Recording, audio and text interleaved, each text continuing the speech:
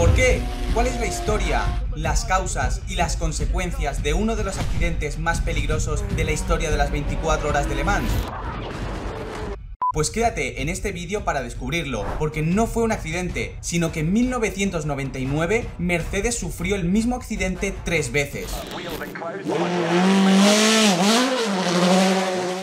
Le Mans es una de las carreras más importantes y prestigiosas de todo el planeta. De hecho, forma parte de la famosa Triple Corona, que está formada por las tres carreras más importantes del automovilismo: el Gran Premio de Mónaco, las 500 millas de Indianápolis y las 24 horas de Le Mans. Y a lo largo de la historia han pasado marcas como Ferrari, Ford, Porsche o incluso Mercedes. Sin embargo, por culpa de los accidentes sufridos en 1999, Mercedes desde aquel entonces no ha vuelto a competir en la carrera más dura del planeta. De hecho, la trágica historia de la marca alemana se remonta a 1996, un año en el que se eliminó el antiguo campeonato llamado ITC y la FIA creó el famoso FIA GT Championship, un mundial de turismos que para Mercedes era una oportunidad, así que decidieron entrar en el nuevo campeonato con su Mercedes TLK GTR, un coche que debía cumplir las normas GT1 para poder competir. Estas normas se basaban en que las marcas podían desarrollar un coche de carreras basado en un modelo de calle, así que Mercedes creó uno de los coches más brutales de la historia, el CLK GTR que también tenía una radical versión de calle. Así que gracias a estas normas pudimos ver algunos de los coches más espectaculares de toda la historia, tanto dentro como fuera de los circuitos. De hecho, para Mercedes, esta normativa de los GT1 fue todo un éxito, porque en el 96, en el Mundial de Turismos, ganaron 7 de las 11 carreras, llevándose el título tanto de constructores como de pilotos. Pasaron unos años y el coche también tenía que evolucionar, así que AMG, que era la empresa que colaboraba con Mercedes para desarrollar este coche, decidió construir el CLK LM, un coche que era una evolución del anterior, y el mayor cambio fue el cambio de motor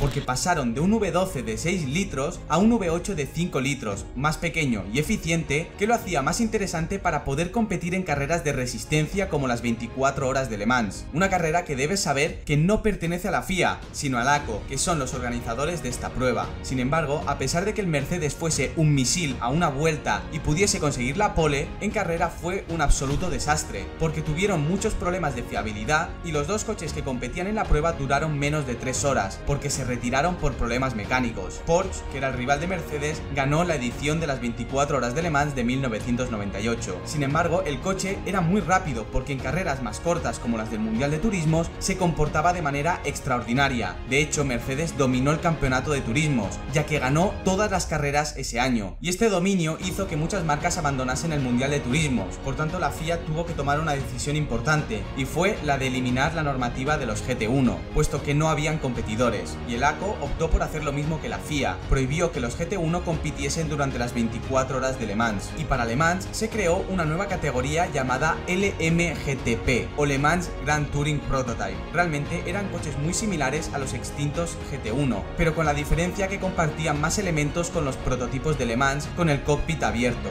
Así que Mercedes, como ya no podía competir con el mismo coche en el Mundial de Turismos y en las 24 horas de Le Mans, tuvo que tomar una decisión de cara al 99, o bien desarrollar un coche para el Mundial de Turismos o bien desarrollar uno para las 24 horas de Le Mans, y optaron por conseguir la gloria en la carrera más larga y difícil de todo el planeta. Y es que el éxito y prestigio de ganar en Le Mans es incomparable al de otro campeonato. El circuito de la SAR es el segundo más largo de todo el planeta, únicamente por detrás del famoso Nordschleife, y combina carreteras públicas con larguísimas rectas que hacen que se alcancen velocidades punta elevadísimas. Es un circuito de muy baja carga aerodinámica, algo similar a lo que pasa pasa en Monza en la Fórmula 1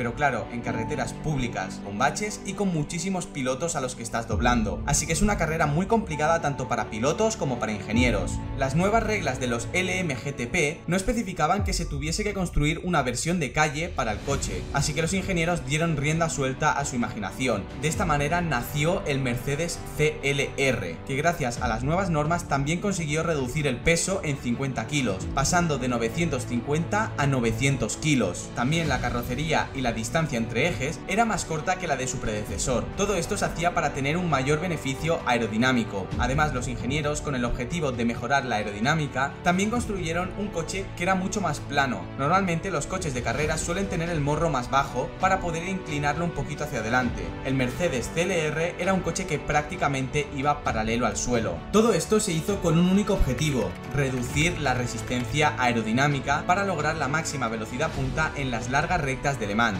Además, en este nuevo coche el motor pasó de 1 litros a un V8 de 5,7 litros, aumentando la potencia a unos casi 600 caballos. Así que los rivales, tras ver los éxitos de Mercedes y el nuevo coche que presentaban para el 99, temían a la marca alemana porque iba a ser un duro rival. Sin embargo, al principio del segundo día de sesiones, Mercedes empezó a ver un problema muy grave en su coche. Mark Webber, que conducía el CLR número 4, estaba siguiendo de cerca a un Audi R8R, en la parte del circuito que conecta la curva de Mulsanne con el complejo de Indianápolis. En esa zona, el australiano se salió de la estela del Audi para intentar adelantarlo. De repente, el morro del CLR se levantó y se elevó por los aires de manera descontrolada.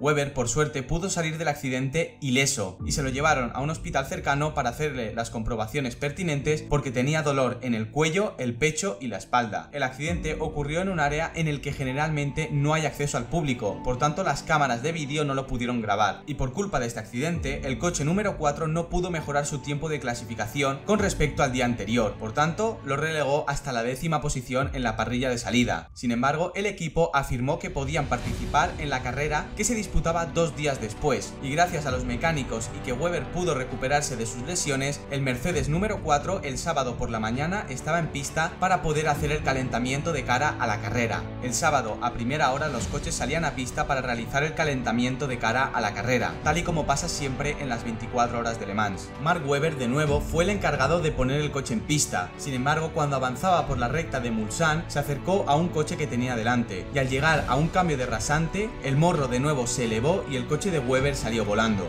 dando una vuelta de campana y estrellándose en la pista así que Mercedes antes de empezar la carrera ya perdió un coche, porque no daba tiempo de repararlo, ya que la carrera empezaba en un par de horas. Rápidamente, el director de Mercedes llamó a Adrian Newey, el jefe de aerodinámica del equipo McLaren Mercedes de la Fórmula 1, para preguntarle sobre qué modificaciones se podían hacer para aumentar la seguridad de los coches. Por lo que tras esta conversación, el equipo Mercedes instaló unos apéndices aerodinámicos en el morro del coche para intentar aumentar la carga aerodinámica generada en esa parte y evitar que la parte delantera se despegase del asfalto y elevase el coche hacia arriba. También Mercedes, al no saber exactamente por qué se producían estos accidentes, mantuvo una reunión con los pilotos para decidir si se competía o no en las 24 horas de Le Mans. Finalmente decidieron competir. Eso sí, se les dio instrucciones a los pilotos de que no se acercasen demasiado al coche de delante, porque el efecto del rebufo también podía ser el causante de que se elevasen los coches.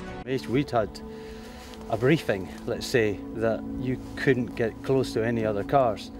Mercedes de cara a la carrera únicamente tenían pista dos CLRs, empezando la carrera desde la cuarta y séptima posición. Sin embargo, en la vuelta 76 volvió a ocurrir el desastre. Dambrek estaba en el tercer puesto intentando alcanzar el Toyota que tenía delante. Los dos coches iban bastante cerca en la zona que unía la curva de Mulsanne con el complejo de Indianápolis. Iban a casi 320 km por hora y en un ligero giro a la derecha que hacía la recta, el CLR de Dambrek pasó por encima del pequeño bordillo del vértice de la curva y de repente se elevó y salió disparado casi 15 metros de altura dando tres vueltas sobre sí mismo. Y el coche finalmente se estrelló en una zona de árboles que por suerte los habían podado dos semanas antes de la carrera. Y esto hizo que el coche pudiese aterrizar en una zona relativamente segura.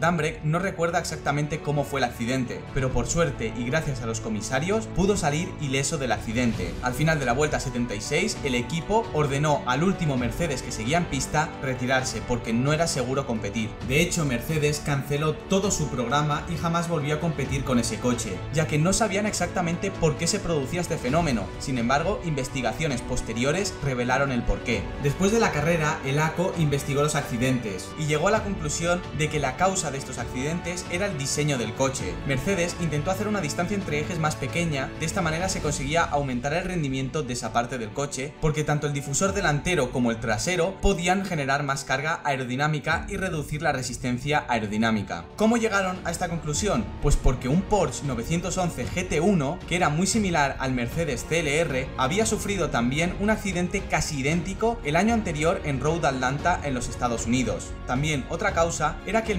Era un coche que no tenía prácticamente inclinación hacia adelante y esto lo hacía muy inestable aerodinámicamente, porque si la inclinación del coche cambiaba ligeramente, podía darse el caso que el aire en vez de pegar el coche al asfalto lo elevase hacia arriba. Básicamente el coche pasaba de ser un monoplaza de carreras a un avión, literalmente. Todo esto trajo muchas consecuencias. La primera fue que la FIA empezó a desarrollar nuevas normas para prevenir los accidentes en los que los coches salían volando. La ACO, por su parte, cambió las normas de la categoría LMGTP en el año 2000. Sin embargo, como Toyota canceló su programa y Audi se centró en los coches de LMP de cockpit abierto, la categoría LMGTP fue abandonada. También la ACO y el gobierno francés hicieron modificaciones en la recta de Mulsanne, disminuyendo y aplanando un poco la pequeña colina que había en aquella recta. Esta accidente fue tan grave para la marca alemana que de hecho estos coches prácticamente no se han vuelto a ver desde aquel entonces, ni siquiera están expuestos en su museo. Y es que Mercedes no ha vuelto a competir en Le Mans desde 1999.